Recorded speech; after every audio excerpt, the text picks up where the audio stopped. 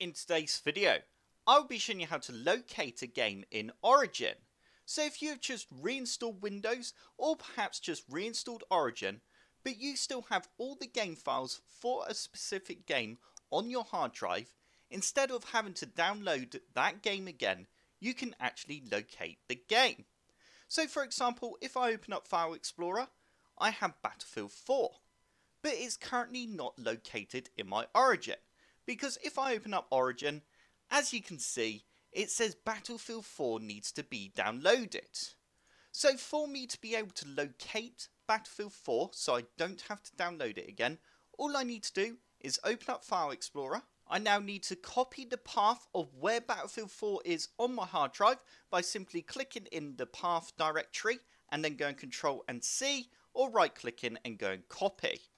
I now need to go back to Origin and I now need to right click on Battlefield 4 and then click on locate game. I now need to go ahead and paste that path in up the top here by going control and V and then pressing enter. And I now need to go ahead and click select folder. You can also browse for the folder but I find it easier just locating it in File Explorer and then copying the path.